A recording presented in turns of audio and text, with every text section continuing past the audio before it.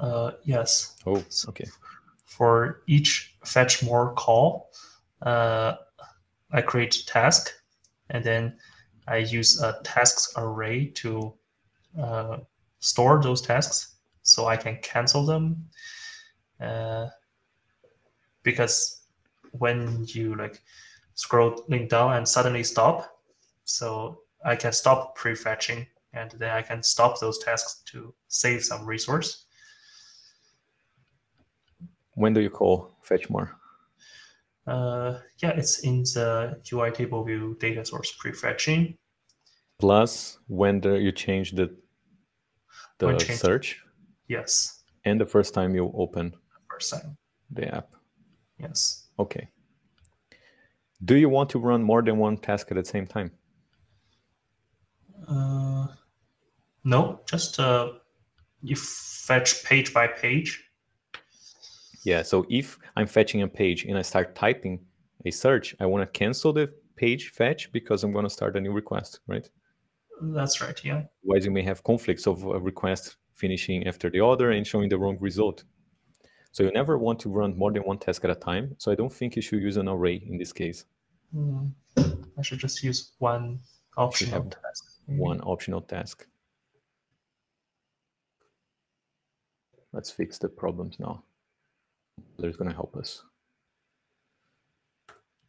So don't need this. What you need to do is call, just say task equals that. You hold a reference to it.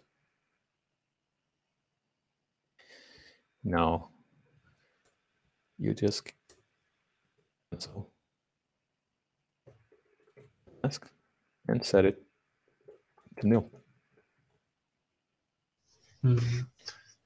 So that's the cancel case. Uh, like after I finish this task, can I set it to nil? Yeah, you can set it here. The end of the task. Task. Uh, when you reach the end of the task, it means that you are done with the task, right? Right, right. Okay, yeah. and since this is all running in the main actor, this task is a property of a UI view controller. The UI view controller is a main actor, right? So it runs in the main actor.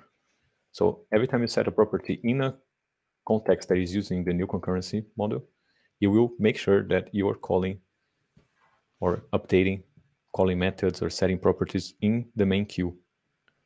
So you are safe here because you are within the new concurrency model using a task.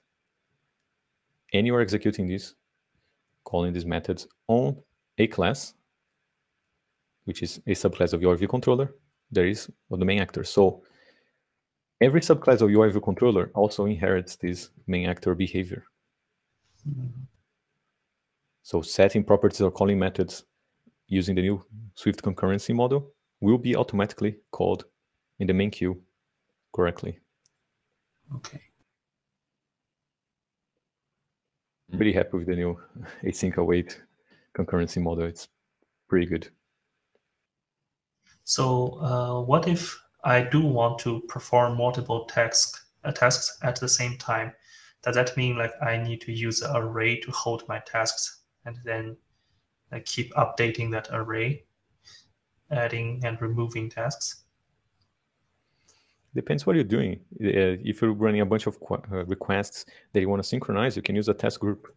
Task group, yeah. Right? But if you're running like independent tasks and I want to be able to cancel them at any time, like, oh, there's a button here that can start a request, another button here can start another request, and they're completely independent. They're not part of the same group. They will run on its own time, and you want to manage them in an array, you can still do it for example, you can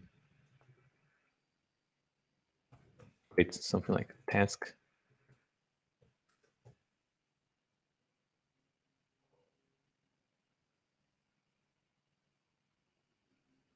Here, you can access inside the block.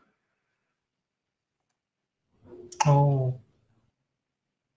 Right, so you can do something like tasks dot remove task, and you remove that specific one you create a reference to it. Oh, okay. Yeah.